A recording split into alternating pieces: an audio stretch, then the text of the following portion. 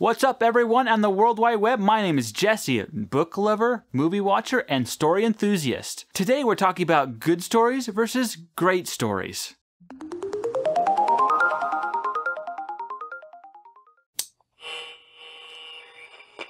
Every year, there are tons and tons of movies and books produced.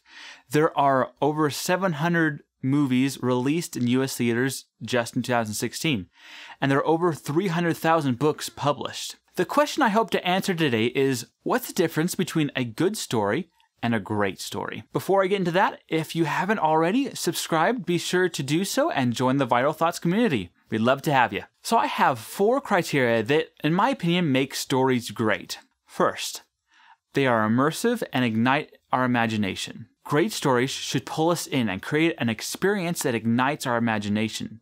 I don't want to just read about the hero.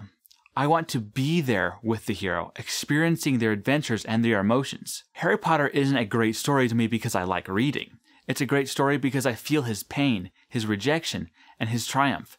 In a sense, I become the protagonist in my mind. I like to get lost in great magic systems and epic settings. For instance, Star Wars is a huge world, and there are so many things that could exist in the Star Wars universe, which makes our imagination go wild. Next criterion there is a sacrifice and an apotheosis.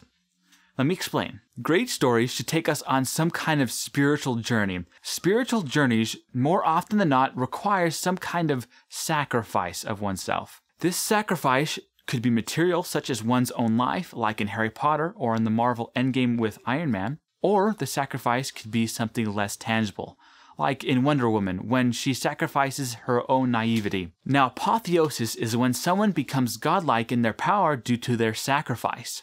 Harry Potter, for instance, gained power over death only after his sacrifice.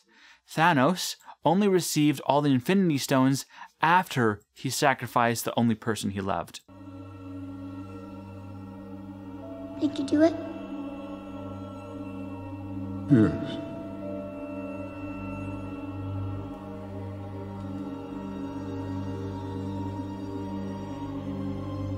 What did it cost?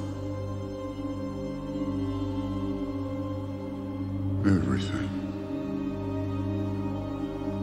Now, not all great stories will necessarily have a sacrifice, but sometimes the hero will choose to withhold the sacrifice. This happened in Star Wars Revenge of the Sith when Anakin refused to sacrifice his fear, which ultimately led him to being Darth Vader. Rejoice for those around you who transform into the Force. Mourn them do not. Miss them do not. Attachment leads to jealousy. The shadow of greed, that is. What must I do, Master Yoda? Train yourself to let go of everything you fear to lose. The third criteria is great stories help people return to the world as better people. When we experience the change in the hero, we ourselves should change too. I don't think that great stories just simply entertain. I think that great stories change us. When we put down the book or leave the movie theater, a great story will have given us a new perspective, a new way to see the world. The theme of a great story will linger with us. After Frodo returns to the Shire, we should feel moved to stay true to our friends and increase our resolve to do good. After Luke helps to redeem his father, Darth Vader, we should walk away wanting to help those people who may be experiencing their own dark side. Fourth, great stories should help us relate to others and create empathy with others. Now, I'm a sociology major, and in sociology, we have a term that's called collective effervescence. In layman's terms, this is an event that a group experiences when they do something moving together. A group will feel cohesiveness when they have a unifying experience. And this is what can happen in pop culture. Marvel Endgame was the highest selling box office movie, and I think that this is due to collective effervescence. Great stories will unify people on a large scale.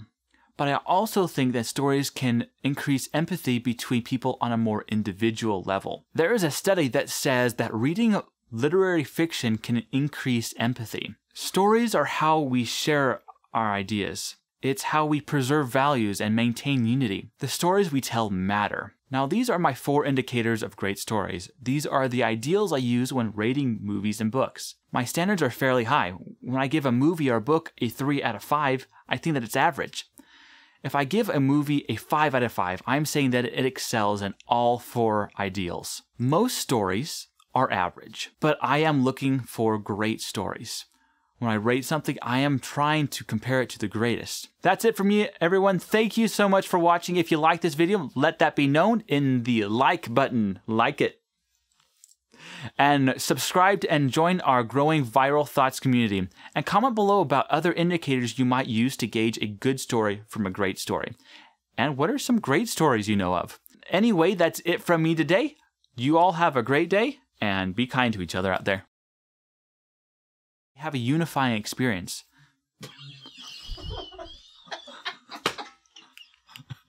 that fly, man.